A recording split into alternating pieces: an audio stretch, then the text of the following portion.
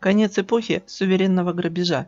Зачем Ахметов купил в Ницце самую дорогую в мире виллу? Георгий Лучников специально для Украина.ру за 29 января 2020 года. Компания миллиардера Рената Ахметова Минутку, сейчас мы точно прочитаем. SCM Holdings Limited Купила виллу Лес Цедрес на Лазурном берегу. Она обошлась компании в 200 миллионов евро. Это может свидетельствовать о том, что в скором будущем украинские олигархи уйдут с Украины. Во вторник, 28 января, СМИ сообщили, что у Рената Ахметова появилась недвижимость на Лазурном берегу. Вилла Лес... Les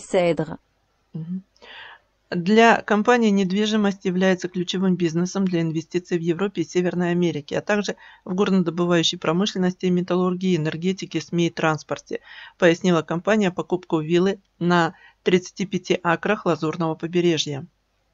Прекрасный сад окружает дом с 14 спальнями и общей площадью 1672 квадратных метра.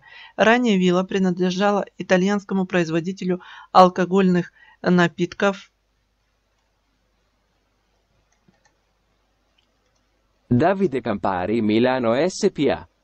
которому она досталась в 2016 году после приобретения компанией другого производителя алкогольных напитков Société des produits Marnier-l'Apostole SPML материнской компании Грет Мерни. Семья Марнье Лапостоль владела виллой с 1924 года.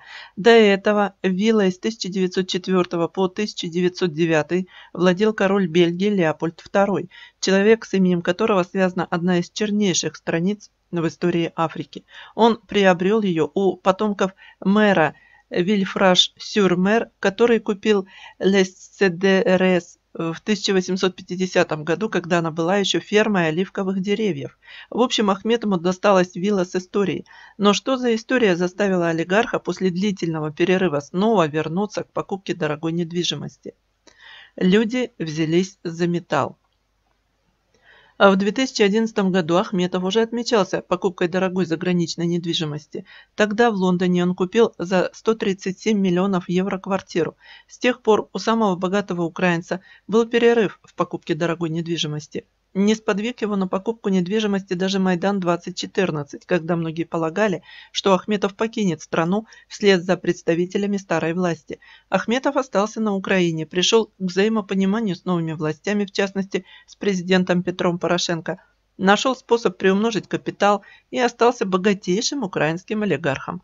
Однако в 2019 году на выборах президента победил Владимир Зеленский, а чуть позже на парламентских выборах его политсила «Слуга народа» взяла большинство в Верховной Раде было сформировано новое правительство, в большинстве своем состоящее из тех, кого в народе прозвали «соросята», молодых прозападных политиков, не столько связанных с украинскими олигархами, сколько с западными центрами влияния.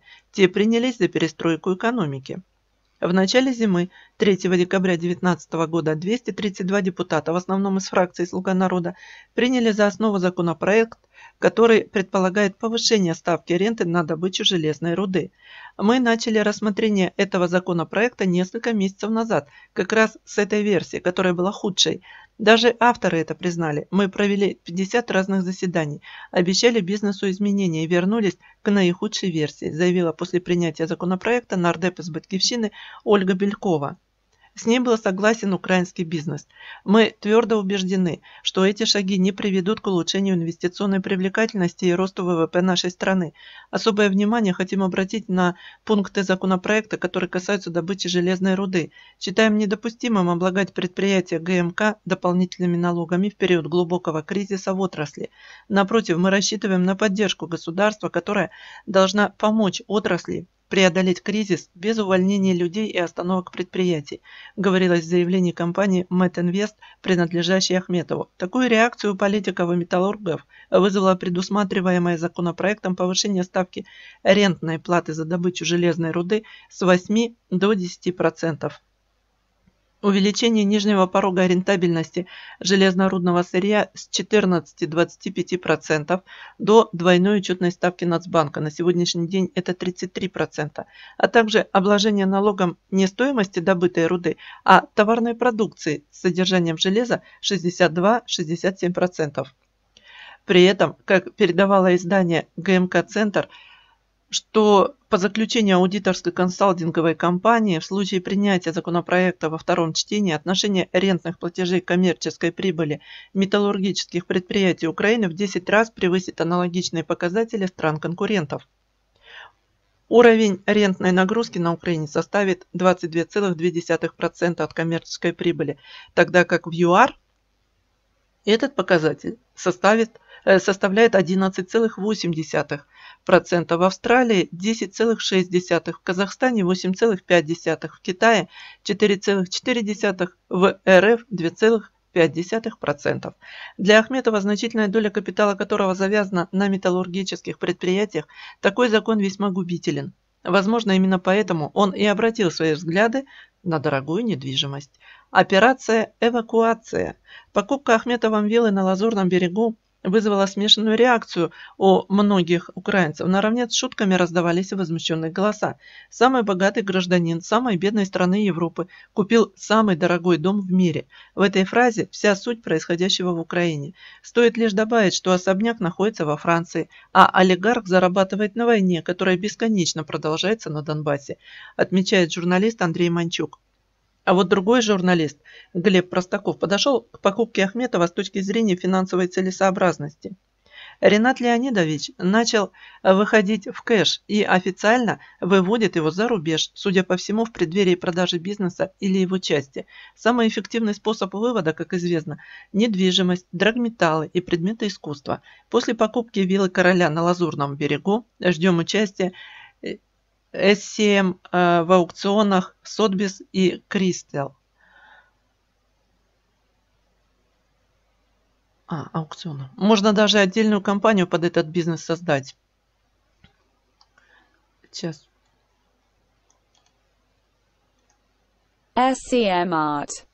Или, скажем, SCM Antique отметил он в комментарии к этой записи. Отмечая, отвечая на реплику о рентной ставке на металл, журналист указал, что Ахметову могли дать время на вывод капиталов. Повышение меньше, чем ожидалось. Западные корпорации дали Ренату время на выход из бизнеса. Процесс продлится какое-то время отметил он. Ранее ряд экспертов уже заявляли, что с приходом к власти ориентированных на Запад молодых политиков, не завязанных ни на одну из олигархических группировок в истории Украины, оканчивается эра, когда Техас грабили техасцы. Теперь Украину будут грабить совсем другие люди. Не местные олигархи, а скорее всего транснациональные. А аборигенам, как в старые времена, перепадет разве что какая-то символическая вещь. И если в 1626 году голландец Питер Минуит приобрел у индейцев Манхэттен за бусы, то, спустя, то спасти, спустя почти 400 лет украинцам в обмен на экономический суверенитет могут дать не менее красивые, но бесполезные вещи. Нечто вроде первых строчек в рейтингах демократичности и хвалебных отзывов на международных конференциях. Георгий Лучников Конец эпохи суверенного грабежа. Зачем Ахметов купил в Ницце самую дорогую в мире виллу?